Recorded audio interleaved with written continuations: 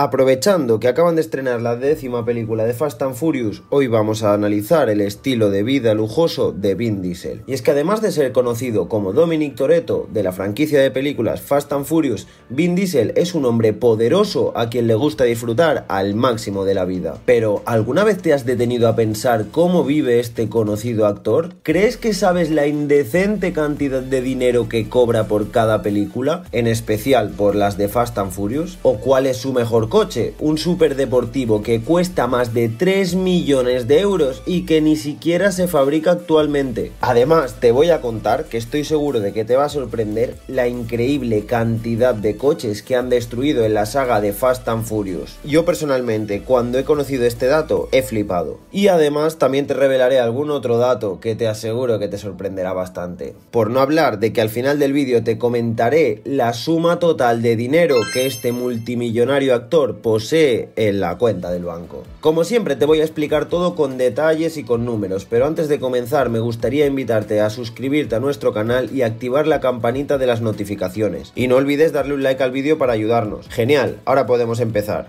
Así es la lujosa vida de Vin Diesel.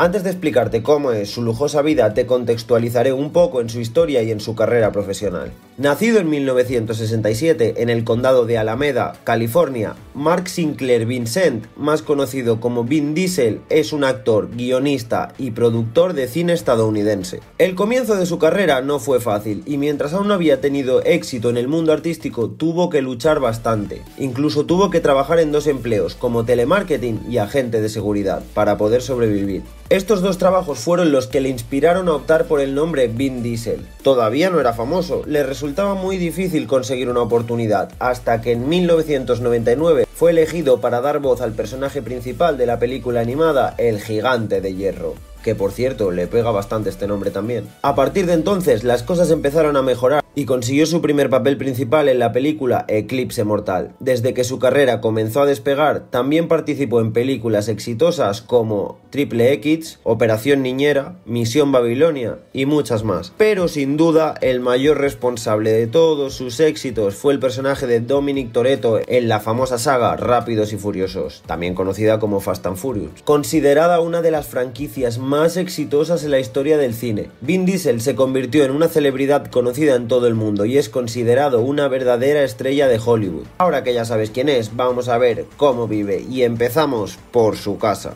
por una de sus casas, claro, y la primera es la de California. Cuando se trata de invertir en buenos inmuebles, Vin Diesel no se preocupa mucho por los lujos. Él posee una casa en Los Ángeles, California, desde hace más de 16 años. Esta ciudad es conocida por ser el centro de la industria del cine y la televisión en el país, por lo que tiene sentido que tenga una casa en esta región. La propiedad de Vin Diesel se encuentra en un terreno de 2.900 metros cuadrados en el montañoso barrio de Beverly. Aunque la casa fue construida en 1957 y parece que nunca ha sido renovada, mantiene la misma decoración desde su construcción. El interior de la casa es bastante simple para alguien tan rico como él, lo que demuestra que a pesar de ser una estrella de Hollywood, Vin Diesel no está pegado a los lujos. La propiedad tiene aproximadamente 140 metros cuadrados de área construida, divididos en dos habitaciones y tres baños. En la suite principal hay un espacioso baño revestido con cerámicas que imitan al mármol. Aunque la casa parece ser común, tiene un altísimo valor de debido a su ubicación. ¿Cuánto creéis vosotros que puede llegar a costar esta casa? Y espérate, porque si te ha gustado su casa de California, te va a encantar su mansión en Atlanta. En cuanto a su mansión en Atlanta, se encuentra en la ciudad de Sandy Springs, en el área metropolitana de Georgia. Esta propiedad está ubicada en un amplio terreno rodeado de árboles, lo que le da la apariencia de un castillo arbolado. El interior de la casa es enorme, con más de mil metros cuadrados distribuidos en dos pisos, que incluyen siete amplias habitaciones y nueve lujosos baños. ¿Podríamos decir que Vin Diesel caga más que duerme? Es más que suficiente espacio para albergar a todo el elenco de películas que desee. La residencia cuenta con una decoración clásica y lujosa, con enormes candelabros que añaden un toque de majestuosidad al ambiente. Los muebles también presentan una fuerte presencia de madera, reminiscente de construcciones más antiguas. Esto es especialmente evidente en su hermosa oficina. Además, los espacios son amplios y generosos, con una altura de techo de aproximadamente 3,6 metros. Las enormes ventanas que van desde el suelo hasta casi el techo permiten una iluminación natural excepcional. La propiedad, evidentemente, también está equipada con una piscina, un gimnasio completamente equipado, una sala de cine y hasta una bodega de vinos. Esta hermosa mansión está a la altura de las expectativas de Vin Diesel en términos de comodidad y confort. Se sabe que inicialmente alquiló la propiedad por cerca de 30 mil dólares al mes, pero luego adquirió la propiedad por 303 millones de dólares. Y ahora que ya hemos hablado de su mansioncita, vamos a hablar de los coches. Y sin duda, esta es una parte muy interesante para Vin Diesel. Y es una de las pocas personas que hemos visto conducir una cantidad indecente de superdeportivos en diferentes películas. Pero a nivel personal, ¿qué coches utiliza? Y es que siendo uno de los protagonistas de la mayor franquicia de películas de autos de todos los tiempos, es de esperar que Vin Diesel sienta una gran pasión por los automóviles. En internet se habla mucho de su colección personal de autos, incluso se especulaba que él era el dueño de algunos autos que aparecieron en las películas. Según algunas fuentes, entre los autos que han pasado por su garaje se encuentra Pontiac Bonneville de 1966, valorado en más de 18.000 dólares, Mazda RX-7 de 1993, valorado en 30.000 dólares.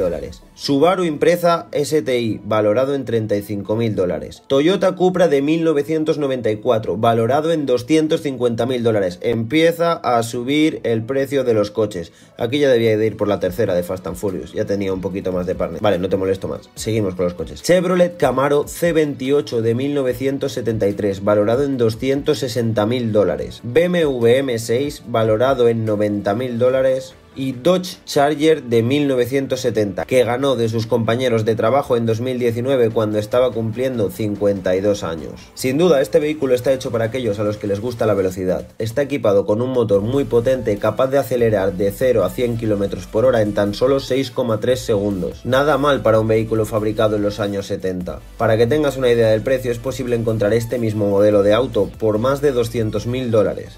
Y sé lo que estáis pensando, aquí falta el coche que me has dicho. Evidentemente, lo mejor para el final, ahora os lo cuento. Y ahora sí que te voy a hablar del coche más impresionante e increíble que posee Vin Diesel.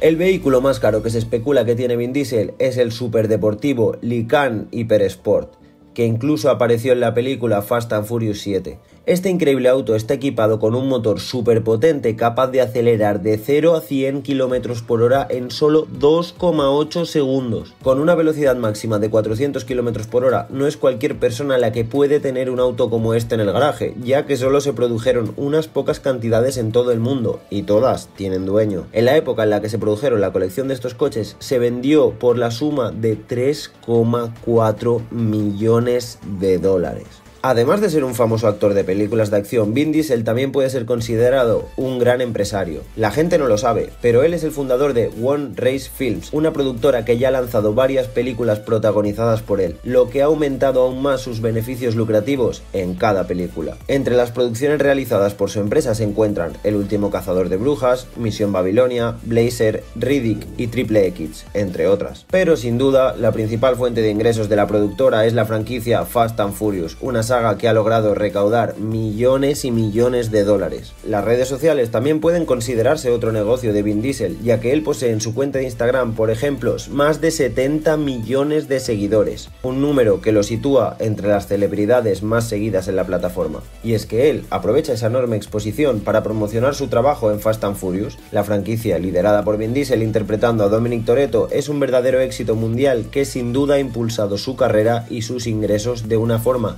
inimaginable. Para que tengas una idea del tamaño de la producción de la película, se estima que solo en Fast and Furious 6 tuvieron que destruir cerca de 350 autos. Y si sumamos todas las películas que ya se han estrenado, superan los 1500 vehículos que se convirtieron en chatarra. Y por supuesto, para gastar una cantidad considerable comprando autos y luego destruirlos, es necesario contar con un buen retorno en ingresos. La serie protagonizada por Vin Diesel es una de las más rentables en la historia del cine. Por ejemplo, en Fast and Furious 8 generó alrededor de 1,2 mil millones de dólares y el mayor ingreso de la saga fue en Fast and Furious 7 que superó la marca de 1,5 mil millones de dólares. Además, si sumamos todos los ingresos de todas las películas, supera la increíble suma de 6 mil millones de dólares. Según los datos, se proyecta que este número siga creciendo ya que en Universal Pictures, el estudio responsable de la distribución, ha anunciado su intención de cerrar la franquicia. El objetivo es que el cierre supere el récord de taquilla establecido por su última entrega. Por cierto, la película más taquillera en la historia del cine. Sin embargo, no todo es color de rosa Entre los actores existen muchos rumores de que Vin Diesel y Dwayne Johnson, más conocido como The Rock, tuvieron un gran desacuerdo durante las grabaciones. Los dos gigantes musculosos parecen no llevarse muy bien el uno con el otro, y eso probablemente fue un motivo por el cual The Rock confirmó que no estaría en las siguientes películas. Y saliéndonos un poquito del guion, os quiero dejar una pregunta rápida que me genera bastante curiosidad. En una pelea entre los dos, ¿quién creéis que ganaría? A mí, sinceramente, no me gustaría estar en medio. Vale, y ahora vamos a hablar de algo que estoy seguro de que estabas esperando, su fortuna. Y es que siendo un reconocido actor de Hollywood que siempre actúa como uno de los principales en películas con las mayores taquillas, es un hecho que Vin Diesel gana mucho, pero que mucho dinero con sus trabajos. Desde el inicio de su carrera, los ingresos recibidos por cada producción solo han aumentado conforme sus películas han tenido cada vez más éxito, y su nombre ha quedado más arraigado en la industria cinematográfica. Para que tengas una idea, según algunas fuentes, Vin Diesel recibió, por ejemplo, 100.000 dólares por la película Rescatando al Soldado Ryan, 1,5 millones de dólares por Fast and Furious 1, 11 millones de dólares por las crónicas de Riddick, 15 millones de dólares por Fast and Furious 5, 20 millones de dólares por Fast and Furious 8 y 47 millones de dólares por Fast and Furious 7. Estos valores astronómicos muestran cuán grande es el retorno que tiene con sus impresionantes películas. Según algunas fuentes, el reconocido actor ya acumulado una fortuna que supera los 230 millones de euros. Y ahora sí, creo que te he contado cosas muy interesantes sobre este pedazo de actor y ya sabemos qué casitas tiene, cuánto dinero, cuánto cobra, cuántos coches ha destruido en sus series. En resumen, ya podemos decir que sabemos todo sobre Vin Diesel. Y si te ha gustado el vídeo, espero que dejes un gran like y que te suscribas. Esto es muy importante para el canal y para crear contenido. Además, si tienes alguna idea sobre algún contenido futuro, como por ejemplo alguna celebridad que te gustaría canalizar a su estilo de vida, solo tienes que dejarlo en los comentarios y yo me encargaré de traerlo por aquí. Nos vemos muy pronto en International Geographic.